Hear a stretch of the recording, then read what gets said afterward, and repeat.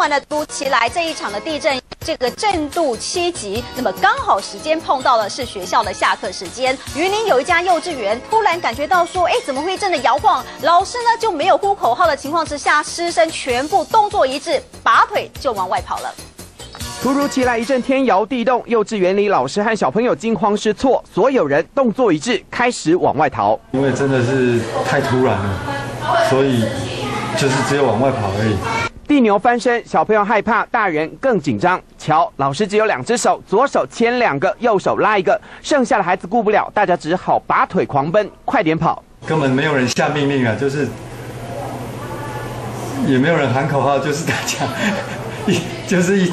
一次一次的往外跑，跑跑跑！幼稚园的师生为了躲到安全的地方，只差几步就能逃到户外，干脆两步并成一步跑。有的学生步伐太快，双腿打结，还差点跌倒。要一起赶快就是往外冲，然后还好我们这里空地广场蛮大的，户外空间蛮多。放学时间躲地震，惊吓过后再回到教室收书包，几分钟前的惊慌失措，居然有小朋友童言童语，非常自豪的说起在地震当时能够机警关灯。